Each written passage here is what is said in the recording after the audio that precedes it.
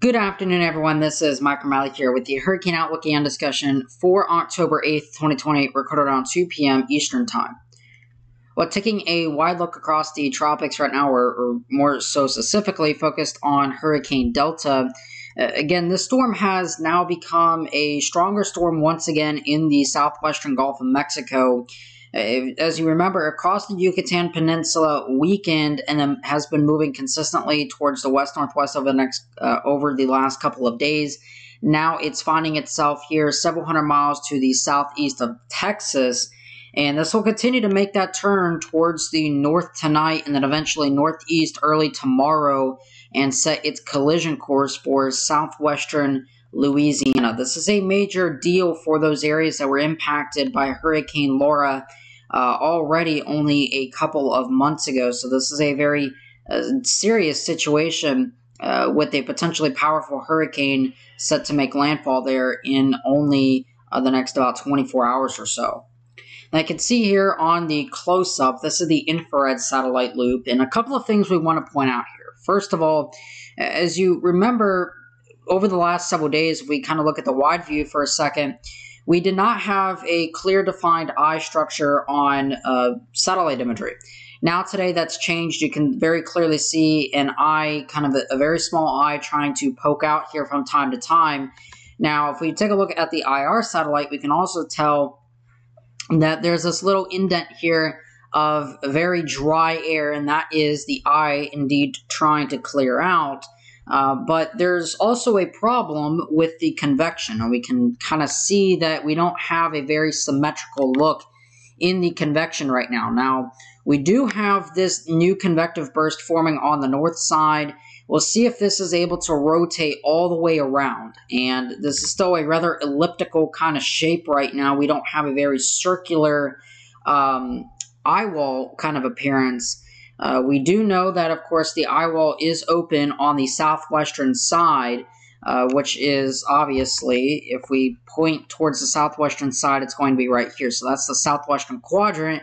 It's opened on that side, which means that's that's one of the main reasons why we haven't seen very significant intensification today, because this eye wall remains relatively open. It's not a uh, it's not really a circular eye, it's very elliptical in nature, and you can see that even looking at the IR satellite. Now, again, we'll see if this convective burst can rotate around, but what this is telling me is that because this convection so far hasn't been able to rotate all the way around the center, uh, this maybe suggests that we're still looking at potentially some shear impacting the storm and forcing it not to be able to rotate around.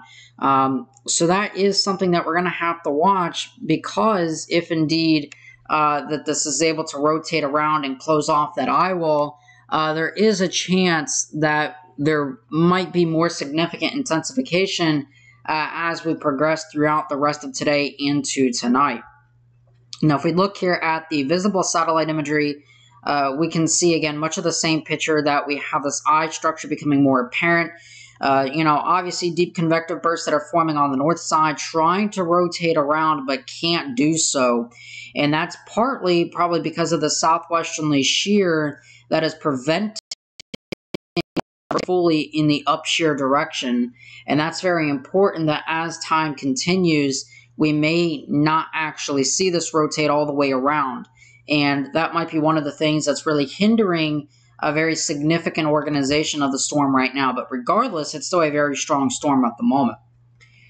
Now, if we look here at the track forecast, uh, this is for Hurricane Delta, the graphical plot here, uh, and everything is basically following the Hurricane Center track. Uh, but you can very clearly see, again, the storm right now is situated over the southwestern Gulf of Mexico, over the deepest and warmest waters uh, right now. This is the very deep ocean uh, right here. Now, as we go forth with time, we step out here to 24 hours from now. This is expected to be a major hurricane.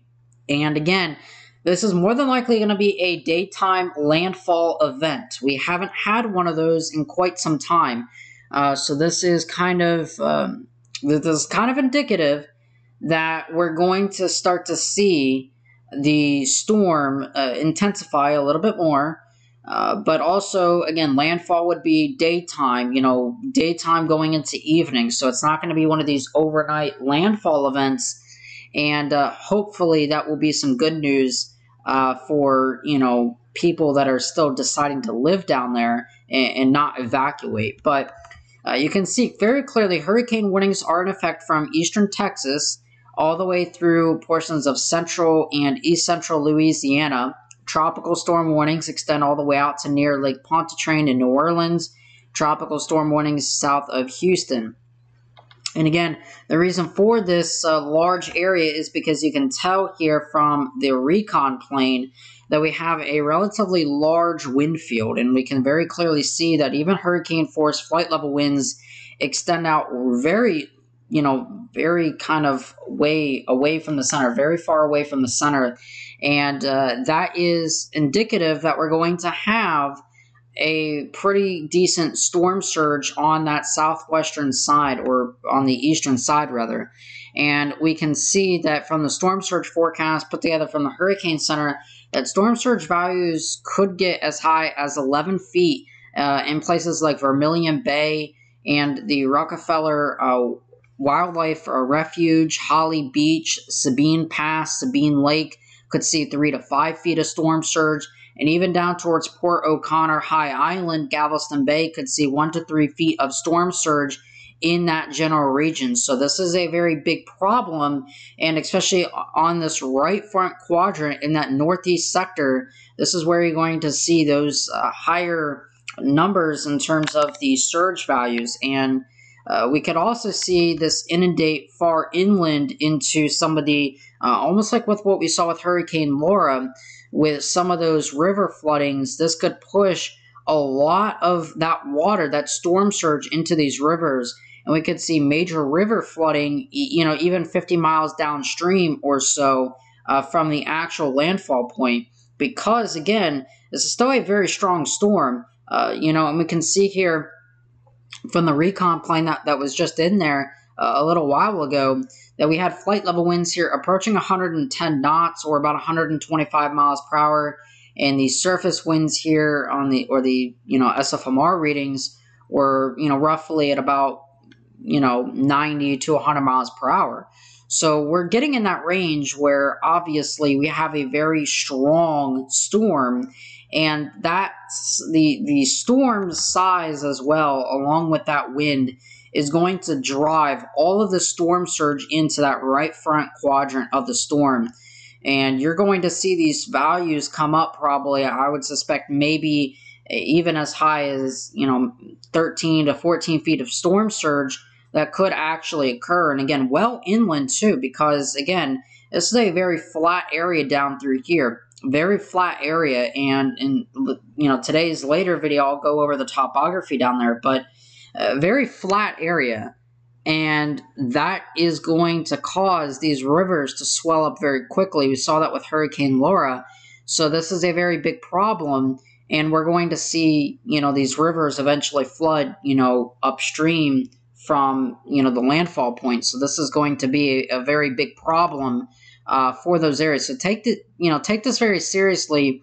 Even though this will be weakening at landfall, it's still going to be packing a punch. And you know, sadly, this area was already impacted very heavily by Hurricane Laura. You know, only a couple of short months ago. Uh, you know, and now we're going to start to see the the very same thing set up here with Hurricane Delta uh, by tomorrow. So, very dangerous, life threatening situation. Now, if I look here at the HWRF, this is the 200 millibar winds in the atmosphere. So, this is kind of predicting what the top of the atmosphere is basically looking like in, in terms of the wind. And we can very clearly see a couple things to point out. First of all, starting in the Gulf of Mexico, closest to the storm, we have this upper level anticyclone right now that is across the Gulf of Mexico, and that is helping to ventilate our storm quite nicely and helping to create a little bit of an outflow channel. Now, one of the things that has been occurring though is we can also see here that we have this trough that's digging in across here. This is now beginning to lift our storm uh, more so towards the north today, and then we'll bend it northeast uh, tomorrow. But what's happening is we have shear coming out of the southwest and through here. This is kind of a jet maximum region or a, a um, kind of an exit region on the front quadrant of this trough. And what this does is creates and picks up shear out of the southwesterly direction. And as the storm turns northward, that's going to be the main focal point uh, as to what is potentially going to weaken the storm. And we can very clearly see that by tomorrow, now pressures are down to about 947 millibars. So they, they are down there. They are still strengthening. But you can very clearly see we have the southwesterly shear beginning to pick up over top of the storm. And as the upper level anticyclone becomes kind of displaced, it creates its own shear environment as well. And the storm actually weakens pretty uh, significantly once it gets right up near the coastline. Uh, because of this southwesterly shear that's going to start be to be kind of impinged on the storm uh, by the time we get into tomorrow. Now, the other thing that we're looking at here is the sea surface temperatures, and again, the storm right now is sitting in a pretty favorable environment in terms of the sea surface temperature profile. Uh, generally, 20, you know, 28 to 29 degrees Celsius waters in through here, so it's, you know, in a decent area right now. And if, if it can close off that eye wall, rapid intensification is possible. But you notice what's sitting right to the north, and we talked about this over the last couple of days, how this area has shallower and cooler waters. And this is uh, in response because of a cold front that passed through earlier uh, last week. And you remember that kind of was the same thing responsible for shearing off gamma.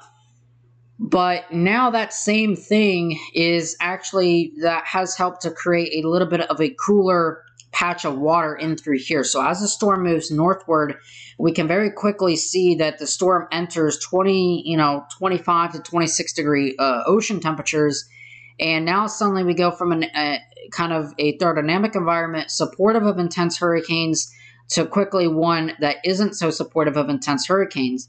And we can very clearly see because 26 Celsius is what you need to support hurricanes. Uh, but for really intense hurricanes, you know, you need that 27, 28, 29 degree water uh, for the most part.